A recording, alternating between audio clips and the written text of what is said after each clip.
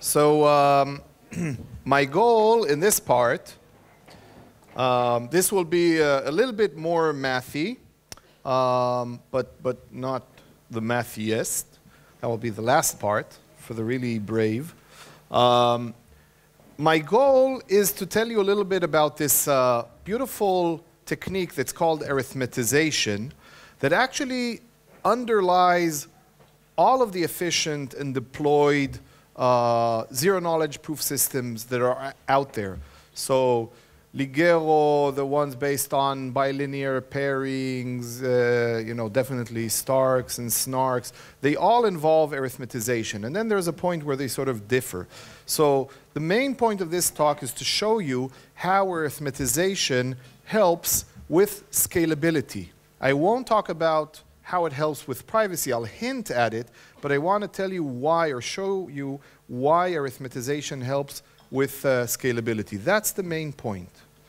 So it's all about getting succinct proofs and succinct verification time. So the goal is we're given a general program, an input, and a time bound, and Bob claims that the program on the input and auxiliary input, which may be private, reaches a certain output after t steps. Okay? And we want to build a system where truisms can be proved and verified efficiently, and falsities are going to be rejected. So we would like this proof system to have uh, the property, first of all, of being a proof system, of be, uh, allowing us to enforce and check integrity, correctness of the system.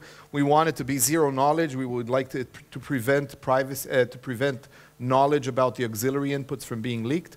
We want it to be succinct. That's the focus of, of uh, our discussion here. We want it to be verifiable in polylog time in T. T is the time bound.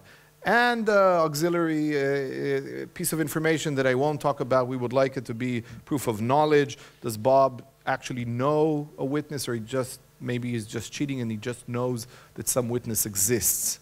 Okay? And this is, of course, a special case of a problem of checking membership in a non-deterministic language, okay? And this particular language, it's uh, complete for non-deterministic exponential time. It goes under the name the universal language. I like to call it the computational integrity language. It has other names, but it's this very general setting that uh, captures a lot of interesting cases.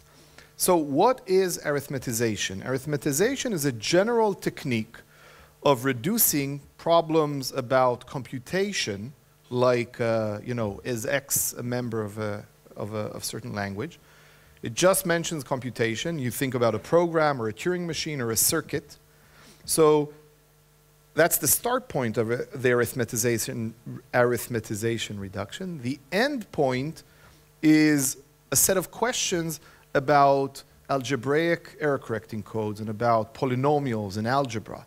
Okay? So that's arithmetization. It takes computational problems and transfers them to the world of algebra. Uh, for instance, questions like, is f, a function f, uh, the evaluation of some degree d polynomial? That's the nature of the reduction. And a brief history, so Gödel's incompleteness theorem and proof famously already used uh, an encoding of computation in terms of natural numbers. Uh, the version that we're talking about was introduced more recently by Razborov to prove circuit lower bounds, uh, famously. And then it was quickly introduced into the world of interactive proof systems in, in work by Lund, Karloff, uh, Fortnow, Nisan. Um, and ever since then, it, it has stayed and played a central role in all interactive proof systems, or in many versions of them, and also in secure multi-party computation and a lot of cryptography. So why? why, you know, if you want to generate an efficient zero-knowledge proof, what does it have to do with polynomials? Right? It's kind of mysterious. So I, I want to start with some, some intuition. So encodings of, or evaluations of polynomials happen to um, be a special family of error correcting codes. And error correcting codes are this method of adding redundancy to information. They were originally introduced in the 1940s by Shannon, Hamming, Hadamard, others, in order to deal with uh, digital communication over, you know, over the ether um, and, and, deal with noise that, that appears there. And then um, they got sort of rebranded in computational complexity for the purposes that we'll talk about today. So polynomials and all of these algebraic codes allow us to add redundancy and spread information. So in the context of communication, what you want to prevent, you have a certain word that is encoded by bits, and you would like to transmit these bits or maybe save them on some magnetic tape, and then you want uh, to be able to recover the original meaning. Now the problem is that if a single bit is, is deleted or uh, changed, then maybe the meaning has completely changed. So an error correcting code adds redundancy, and now it just magically happens that a single bit being erased or changed doesn't um, change the meaning of the information because you can sort of decode and find out what the original message was. So that was the original purpose. Now, in the context of computation, this sort of adding of information is used to prevent the following situation. I would like to cheat about a computation. So I would like to start from a certain point and claim that I reached a point that is favorable to me. And the way I'll do it is I'll find a single place in the computation and change a single bit. And I hope that no one will notice. So indeed, if I don't use any error correcting codes, I might get away. Or rather, if you want to be able to check that I wasn't cheating, you need to check every and each step of the computation. Error correcting codes allow adding a whole lot of redundancy, and then if I change just one bit in an encoding, I haven't really changed the information.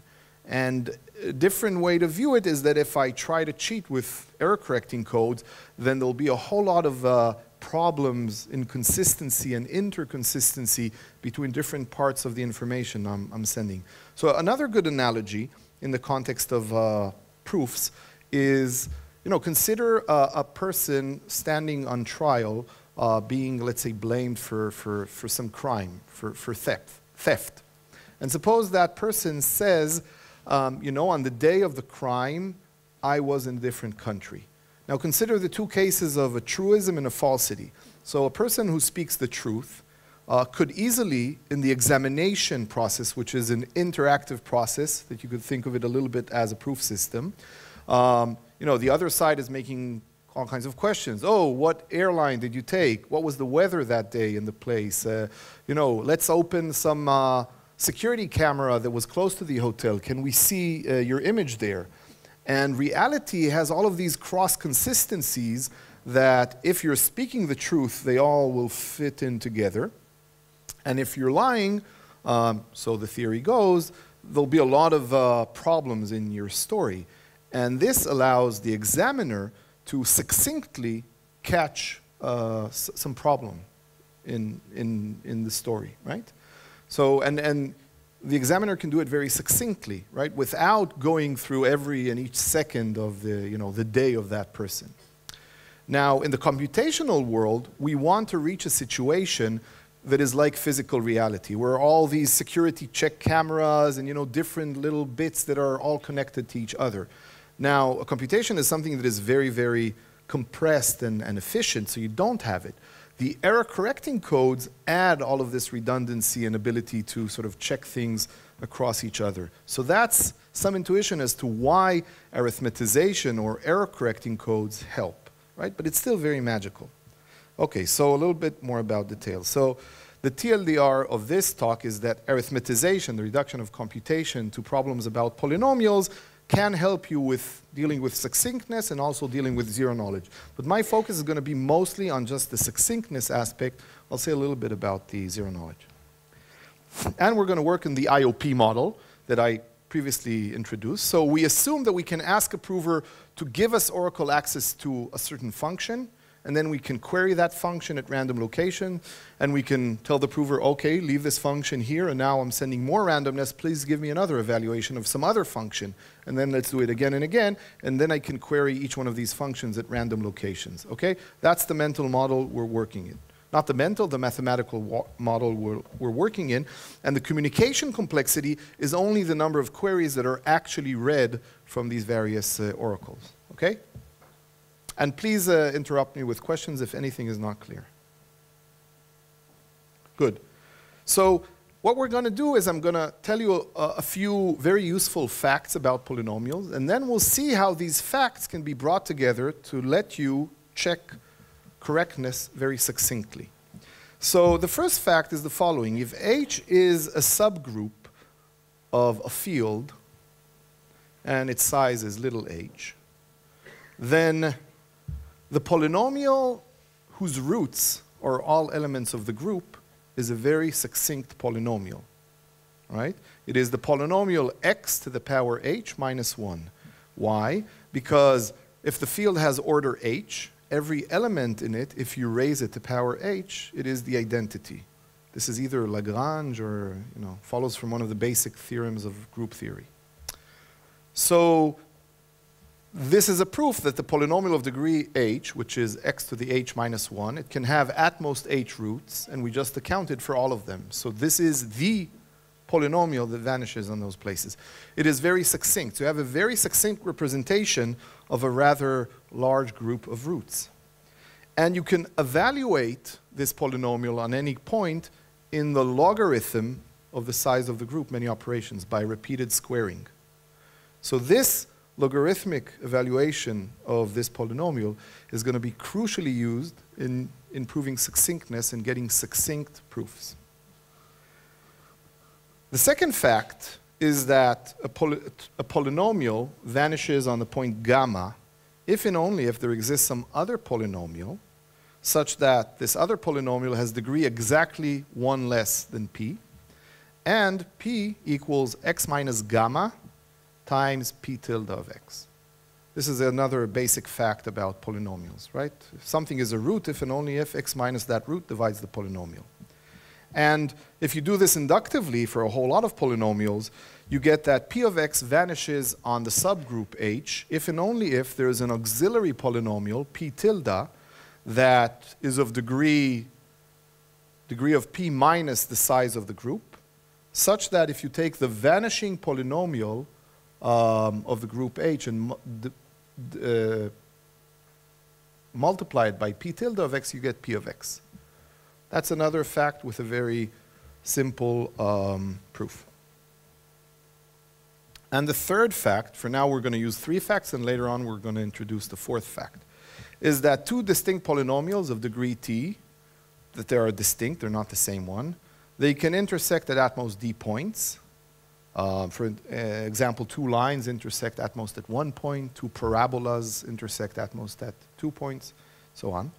So if you take two functions that are evaluations of distinct degree d polynomials and evaluate them at 100 times the degree many points, you will get two evaluation tables that are very far. They're 99% far from one another in relative distance. Okay? And this is the error correcting code that is known as the Reed-Solomon error correcting. Code was introduced in the 1960s uh, to deal with information, you know, found its way in CDs and DVDs in the 1990s, and I don't know if it's still used, but uh, STARKs use, uses it a lot. Okay, so three facts. Let's just uh, compress them. Let's now use them to check something succinctly. Succinctly means logarithmically in the amount of information being checked. So First of all, we're going to make a, an assumption, and this assumption will be dealt with in the very last talk. The assumption is that we have some magical way for forcing the prover to use only degree D polynomials in the IOP model. So we allow the prover to pick any degree D polynomial that they choose, but they must commit to some degree D polynomial and write it down, and they cannot change it later on. Okay? And suppose we have some magical method for doing this. So here's a challenge. Given a function that we have Oracle access to in the interactive Oracle proof model, that we know its degree to be less than d, and d is less than 1 over 100, it's like less than 1% the size of the field. I'm asking you to devise a protocol for checking succinctly and with very small error if f vanishes on all points in h. Now, d can be much greater than h. So, I mean, it's not necessarily the zero polynomial. I want to know if this polynomial vanishes on um, all of these points in H. So what do you suggest the protocol be? You know what? I'll throw the first suggestion, and then I'm asking you, why is this a bad idea? Um, let's read each input. Let's query f at all points in H and check if they are zero. Is this a good idea? Why is it not a good idea? What's the problem with it? What? It's not succinct. The number of queries I need to make is the size of the group. Okay, wait, let me do another, another suggestion and let, you know, correct me, uh, tell me why this is not a good idea. I will sample um, a random element from H and I will query F at that point and see if it's zero. Is this a good idea? So now it's very succinct. It's one query. I just need to see if it's zero. What's the problem with this thing? Yes? It has, why does it have high error? Almost. The claim that, it, the claim that we want to check is that on every point in H, the polynomial vanishes. So if there's even one single point on which f does not vanish, the claim is already wrong. So a malicious uh, prover could give the evaluation of some polynomial that is zero everywhere but for a single point in h.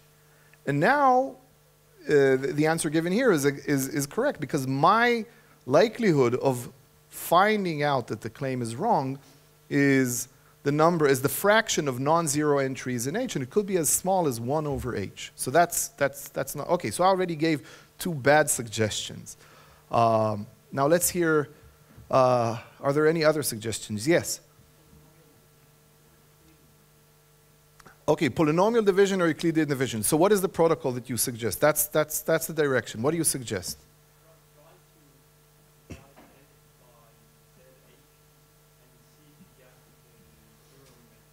Very good. So try to divide f by zh and see if the remainder is, uh, like if there's no remainder. Okay, so is this uh, succinct as a procedure? Succinct means something that is logarithmic in the size of h.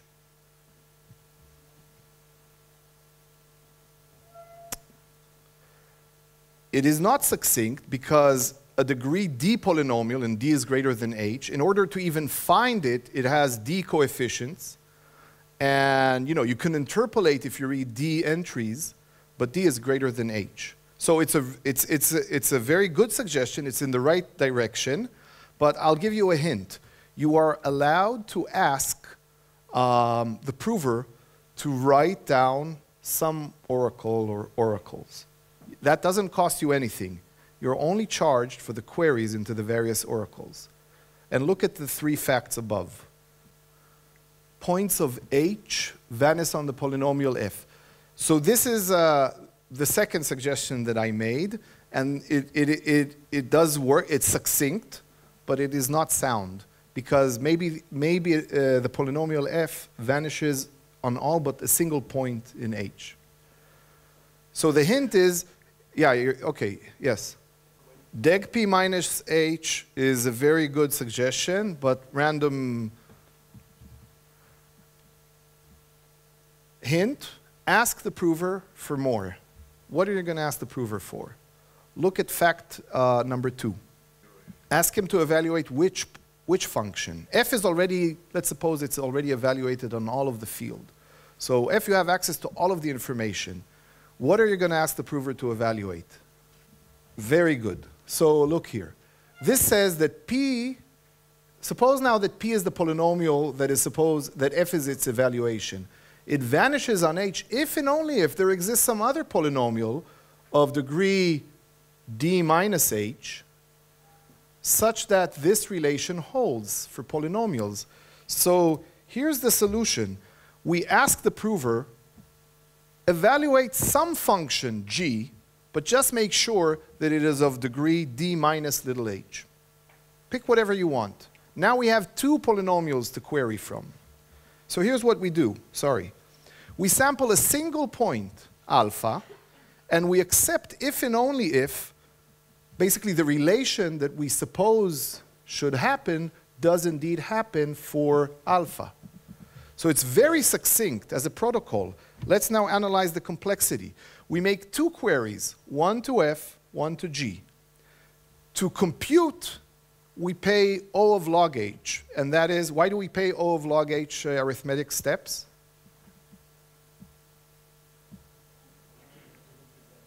To compute ZH, very good. We need to compute ZH on the, so here we just get a field element, and this we get a field element, but this we need to compute on our own. Now, luckily, Z of H is of high degree, but it's very succinct. So we, by repeated squaring, we can verify, we can compute it in log H steps. And, okay, what about completeness? So if F indeed vanishes, what will the good prover give us? If F vanishes on H, then this fact says that there must exist such a P tilde, so the prover will just evaluate it. And then this will hold, this relation will hold with probability 1. And if not, if this doesn't occur, right, we look at the other side. We know that for any polynomial p delta of this degree, it is not the case that, this, that we have an equality. So if we subtract one side from the other, we get a non-zero polynomial that has at most its degree many roots. But we are sampling from a domain that is much larger. It is 100 times larger. So the probability of error, its one-sided error, is less than 1%. Now I just want to pause and appreciate the amazing fact that went on here. We just verified some statement about H constraints by only paying a price of log H arithmetic complexity in two queries. This is how you get succinctness from arithmetization. Now, you might say, and you'll be right, that this is not a very interesting case because, you know, who cares about whether f is all zero on h? So let's go for something a little bit more interesting. Suppose now, again, the prover uses only the greedy polynomials. Here's a second challenge. And this is now already a little bit closer to something that might arise in a computational integrity statement. Now, the prover claims that f is Boolean on h. What does it mean? It takes only value 0 or 1. But it's not the all zero function. It could be something else. Actually, there are two to the n different functions it could be that are legitimate. How do you know that the verifier is indeed, this is sort of a type checking problem, right? We want to know that the type of f on h is always Boolean. So, what do you think the protocol should be? It should have, uh, x times x minus 1 is very good. It will show up here. But how would you, how would you use x times, so the polynomial x times x minus 1 is the unique monic degree 2 polynomial that has exactly two roots that are 0 and 1. So it is the polynomial that vanishes on exactly two inputs, 0 and 1. How are we going to use it to reduce this problem to basically the previous problem? You can compose with with that polynomial. So let's see, how are we going to compose? So once again, we'll ask the prover to send a function g. This time we're going to allow the degree to be slightly, slightly larger. 2d minus h, not d minus h, 2d minus h. And now we're going to check a new relation that is a little bit more elaborate. So you see, this is the polynomial x times x minus 1. We will plug f of alpha for random alpha into this polynomial that has exactly two roots, 0 and 1.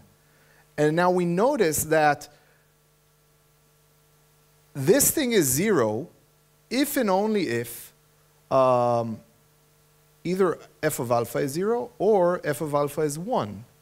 So, but what we do is we plug this constraint into a general alpha that is not necessarily inside the domain H. It could be anywhere in the field and we check this relation. We check that f of alpha times f of alpha minus 1 equals zh of alpha times g of alpha. Now, the complexity is still two queries.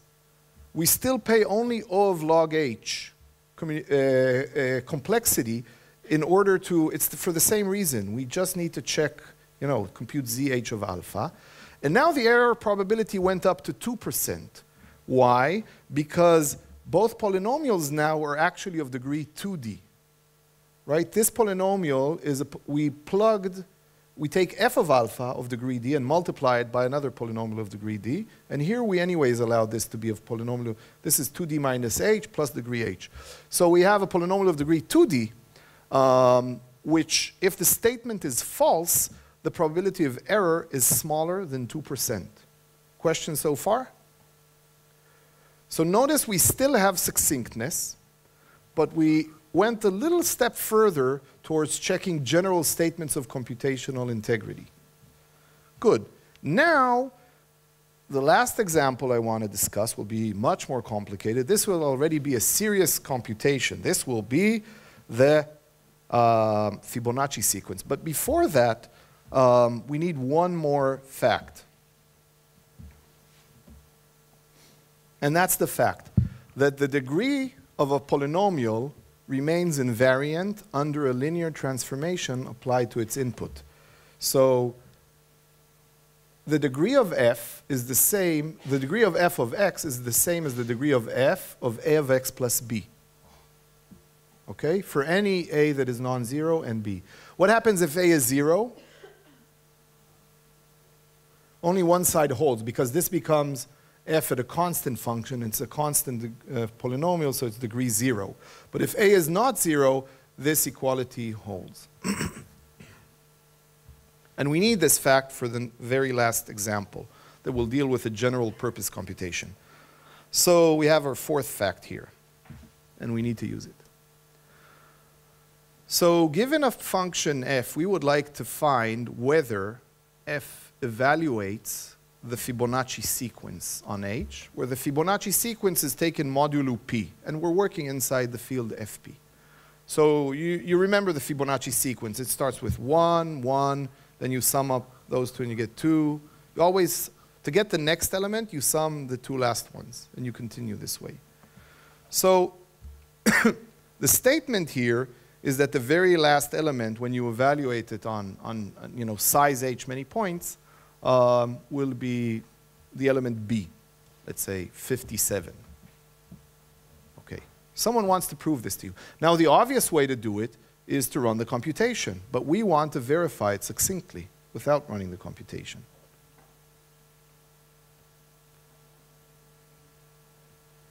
So here's the protocol.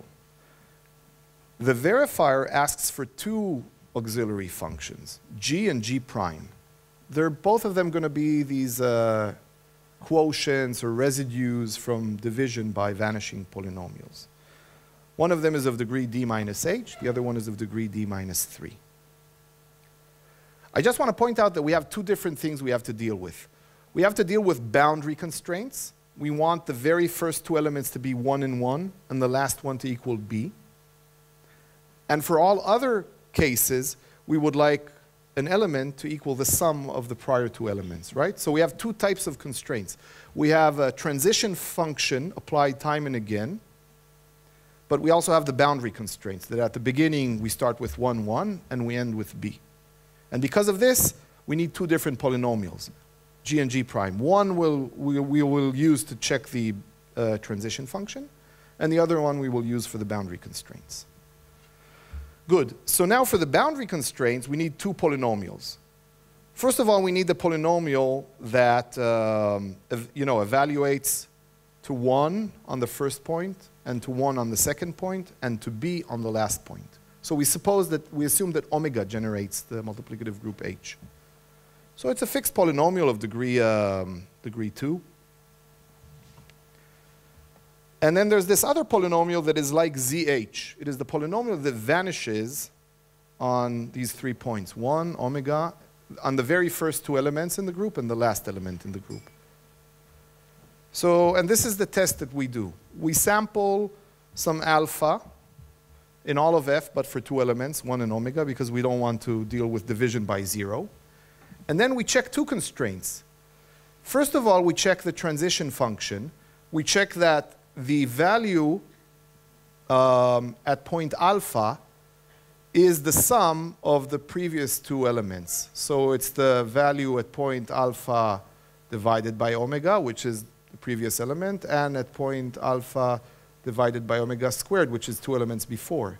And we check that this thing equals zh of alpha times g of alpha divided by these two points, alpha minus 1, alpha minus omega. So what we're doing here is we're essentially saying we need to check this constraint on all entries but for the first uh, two constraints. Uh, the first two points, we don't want to check this transition relation because we know they are one and one, but from the third one and onwards, we need to check this thing. And that's what this constraint checks. And the second constraint checks that f of alpha minus b of alpha, if we subtract this degree 2 polynomial, we should get something that vanishes on D. So it turns out that these two constraints are exactly what capture the boundary constraints of the Fibonacci sequence and the transition function of the Fibonacci sequence. And let's look about succinctness. To verify these constraints, we sampled one uh, point and we make five queries, right? We make a query to f of alpha, f of alpha over omega, f of alpha omega squared, g of alpha, and g prime of alpha. We make five queries, and we need to evaluate several simple polynomials like zh of alpha, zh, which is easy to evaluate, and then we need to evaluate uh, d of alpha and b of alpha, which are constant degree polynomials. So the arithmetic complexity is still logarithmic in h. And now we've already succinctly verified a very large computation without unrolling and checking all parts of it. And by the same reasoning as before, um, in the good case, uh, the probability of acceptance is 1. And in the bad case, the probability of uh, acceptance is at most, I guess, 2% as well, or even 1%. By the same reasoning as before. So,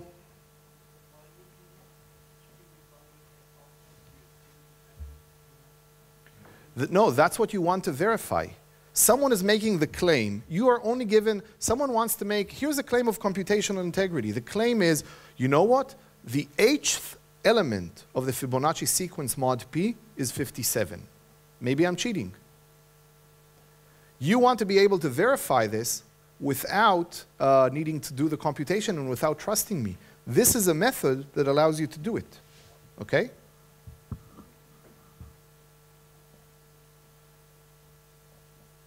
So the general theme is that you take a computation and you convert it into two kinds of constraints. Into a set of constraints that tracks the correctness of the transition function, that if you go from a certain state to the next state, you're doing it correctly. So in the case of Fibonacci, it was one constraint that is linear, but for a general computation, this constraint would be much more involved and, and involve many variables and check many things. And the second uh, kind of constraints, the simpler kind, is getting boundary constraints or constraints for the boundary conditions of the computation, the input and the output. And then you check that it applied to f, and that all constraints vanish on h by this division um, by fact number two. Now, as I said, I'm not, I, I, I wasn't going to talk about zero knowledge. I just want to say, let me just, how much time do I have? What's the time now? Five. Okay, so in one, in one uh, just uh, like two bullets about how do you get zero knowledge, right? If you allow the verifier to query f restricted to h, basically you see all parts of the computation. So the trick is to, first of all, never sample from h, just sample from other areas and to slacken the degree requirement a little bit. So if you know that you need to make, to allow the verifier Q queries, you allow the prover to work with degree D plus Q. And the prover will use this slackness factor of Q to do an analog of Shamir secret sharing and sort of add in a little bit of randomness so that the actual answers that the verifier reads are just completely uniformly random. Completely uniformly random. And this actually gives you perfect zero knowledge. Perfect zero knowledge. And it's actually even relatively easy to prove that you get this. So you get both succinctness and privacy from arithmetization, which is what we wanted to show. So we saw that arithmetization solves succinct checking of computational integrity. I told you, uh, you know, hand wave, that adding randomness and increasing the degree also gives you even perfect zero knowledge, along with the succinctness. And what we didn't see is how do we back this assumption that f and g are of exactly the degree we wanted, and no more. And this will be the part that we deal with in the proximity uh, protocols. That will be the very last part of, uh, of this, you know, of my series of lectures. I just want to say that here is where, this is the point where, um, you know, STARKs and SNARKs differ. So you could use the linear PCP techniques and, you know, then a whole lot of other stuff like bilinear pairings and so on to, you, you still use arithmetization for a very long while, but then you say, well, remember that we needed to sample this point alpha? Let's find a clever way to hide from the prover the point we're asking him about, this alpha. So that's one approach, and that's how you get to, for instance, the ZK SNARKs in, in Zcash.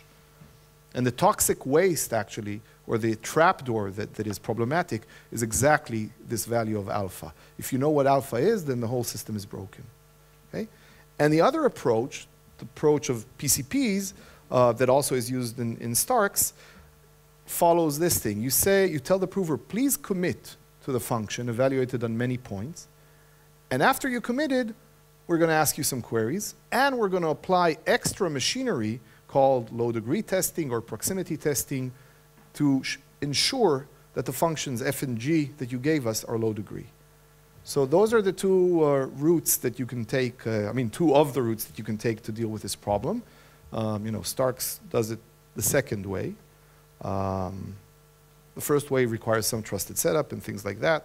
The other one is transparent, only uses public randomness.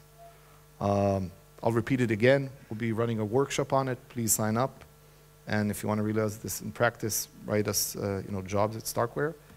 Uh, so this concludes the third of four parts. And the last part will deal with proximity testing for the Reed-Solomon code.